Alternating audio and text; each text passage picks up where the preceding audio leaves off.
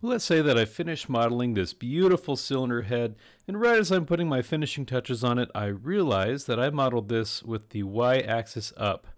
But let's say that I really want it to be with the z-axis up, and I just went through all this work. How do I reorient my part uh, to get the correct axis up that I intended?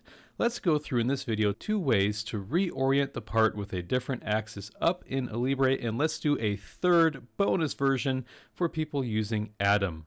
So first, if you're using Pro or Expert and you would like to reorient this part, we can go with one of my personal favorite ways of doing it, and that is with surfacing. I'll go to surface and I'll say create surface, not from face, but from solid, right? So we're going to take our entire solid and convert it to surfaces. And essentially what we're doing is taking all these outside surfaces of our solid and uh, deleting the solid part so that we have just references of what this part is. So with that being done, you can see that we have um, not a solid, but some infinitely thin surfaces that are much more similar to like planes or axes. It's not useful as a solid, but it is useful for reorienting. Next, I'll go to my Move and Rotate tools, and I'll select my surface, and we'll say that we want to have a precise rotate, and I'll choose this axis and edge, and we'll rotate it 90 degrees. And as we do, we can see that now our z-axis is pointing towards the top of the part, just how we want. So I'm going to say OK. Now that our part is rotated to the place that we want it, we of course want to make this a solid again. So let's go to stitch and we'll stitch this right back into a solid with the new axis up and of course I'll select my surface that I wish to stitch to a solid.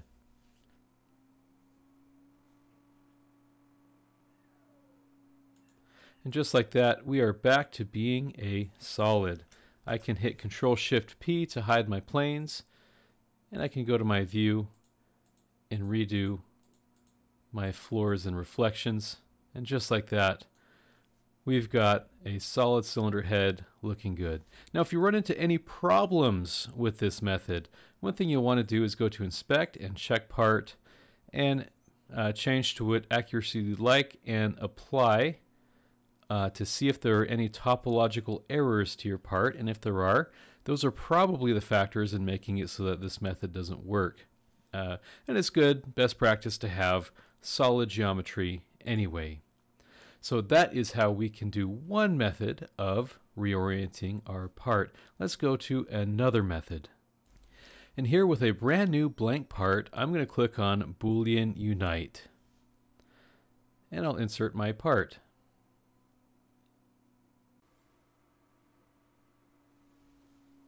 Now it's quite likely here that I would like to align my planes to how they were before. So I'll right click on my part and show reference geometry. Likewise I can toggle the reference geometry with control K. And now I'll want to um, choose my planes in a way that I'll have my Z up.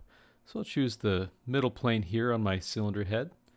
We'll add a constraint and I can choose to align this on another plane where my z-axis could be uh, pointing upwards.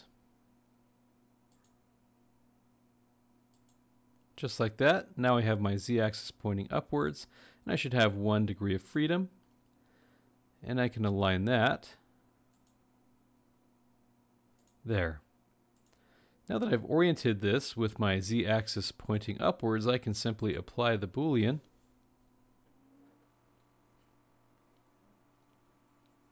and I have a part in the correct orientation that I can save and use for whatever orientation I need. I might be exporting it to a slicer or something like that. But if you're using Atom, you may not have access to booleans or surfacing features, so how might one in Atom be able to reorient, reorient parts? Let's hit the bonus features now. So I've opened up my part in Atom and let's make a new assembly. And in my new assembly, I'll insert my cylinder head.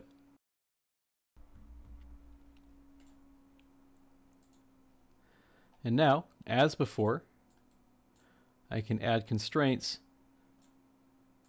to get the cylinder head oriented just the way that I'd like.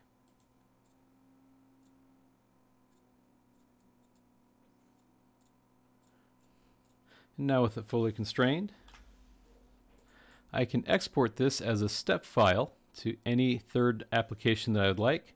Or if I really need a native Alibre part file, I don't foresee a situation where you would need that because you can just edit what you have and export it. But if you really need a native Alibre file, you can uh, save your step as an Alibre file to get it native again. You won't have your history tree, of course, but uh, that is how you would do it. So thank you for watching. Hope this was helpful, and we'll see you in the next videos.